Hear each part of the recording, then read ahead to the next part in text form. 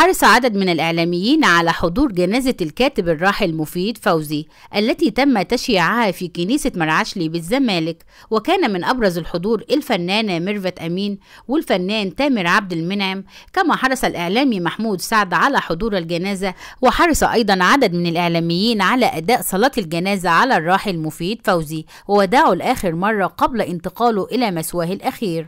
كما رحل الكاتب الكبير مفيد فوزي عن عالمنا عن عمر الناهز التاسعة والثمانون عاما بعد صراع مع المرض دام أكثر من شهر. كما أعلنت الإعلامية حنان مفيد فوزي خبر وفاة والدها على منشور لها عبر فيسبوك وقالت فيه بابا سافر السما عند ربنا. صلاة الجنازة على روح الطيبة اليوم الأحد الساعة 12 ظهرا في كنيسة المرعشلي بالزمالك. العزاء غدا أيضا الاثنين الساعة السادسة في قاعة كنيسة المرعشلي بالزمالك.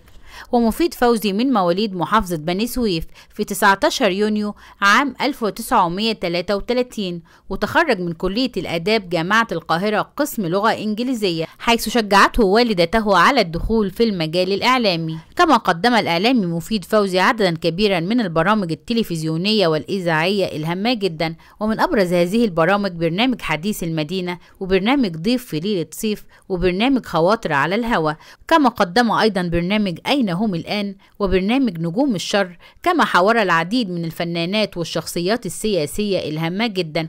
ومن أبرز هذه الشخصيات الرئيس الراحل محمد حسني مبارك والعديد من وزراء الداخلية ورؤساء الوزراء.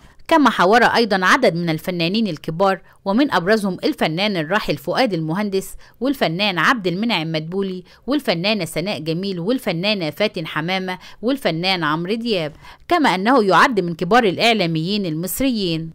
البقاء لله وإنا لله وإنا إليه راجعون.